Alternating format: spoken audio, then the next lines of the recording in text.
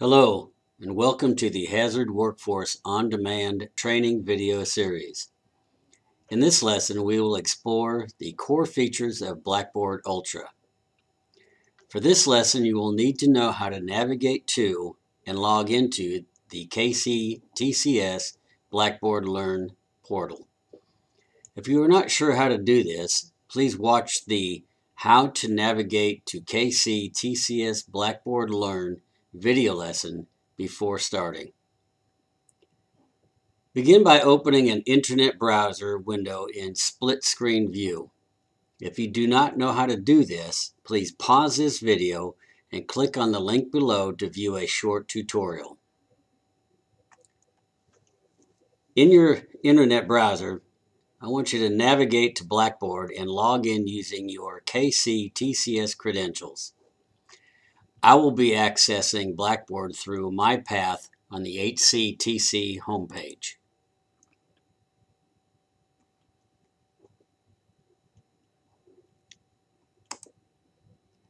Now once you have navigated to Blackboard and you've logged in using your KCTCS credentials, you will see that on the left side of the screen will be several links to some of the core features of Blackboard. Here you will find links to your profile, activity stream, courses, the global calendar, messages, and your grades. Your profile is where you can change your personal information. You can insert a profile picture and change your notification settings. The activity stream is a real-time update for all your courses.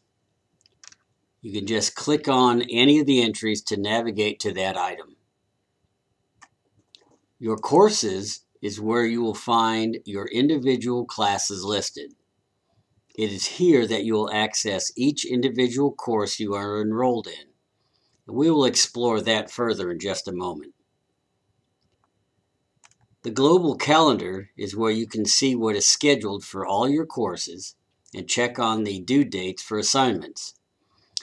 You can change the view to see upcoming events by the week or by the entire month. You can add different items or edit existing items by clicking on the plus sign in the upper right hand corner here. The messages and grade features or where you can read or send messages and check your progress in all your classes. The link that you will use most is the courses feature. As I said, this is where you will gain access to your courses. If you have many classes that you are enrolled in, you can mark your most frequently visited class by clicking on the star to the right. This will place that class at the top of the list so you can easily find it. Once you find the class that you are looking for, left click on the title and you will be taken to that main page. As an instructor, I have access to features that students do not. So I will enter student preview mode so you can see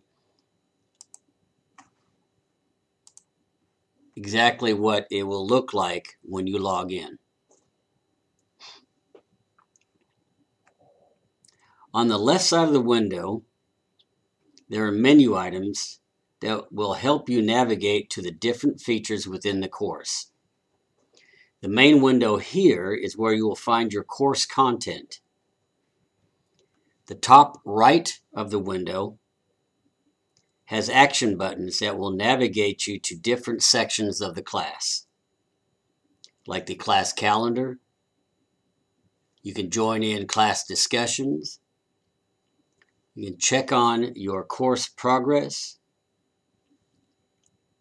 And you can see specific messages for this class. You can also send messages to other members within your class.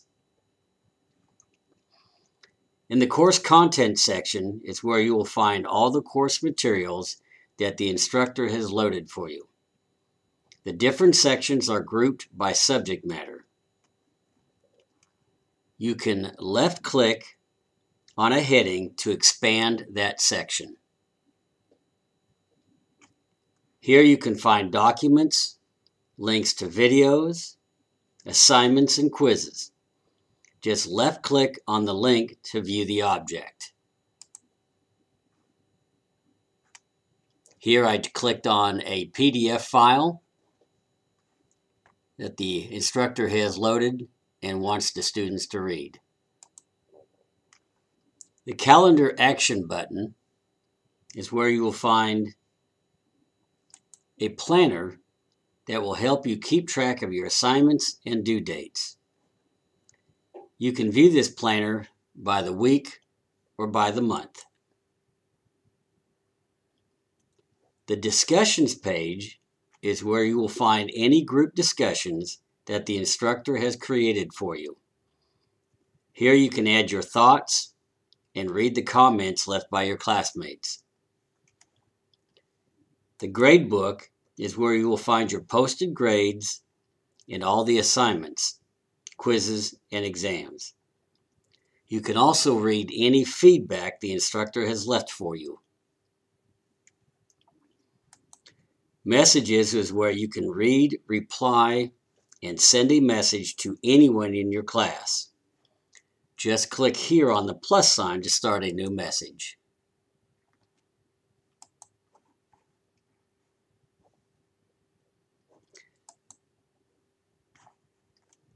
Blackboard also has a video conferencing feature called Blackboard Collaborate, and it's located right here. If your instructor has scheduled a meeting, simply click on Join Session and be taken to the conference.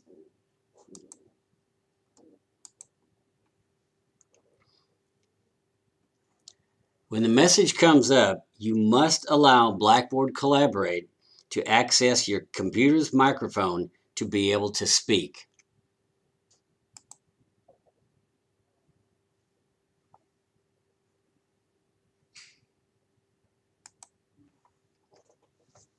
It is important to note that you will need to check your email and Blackboard messages every day as these will be the primary ways that your instructor will communicate with you throughout the course.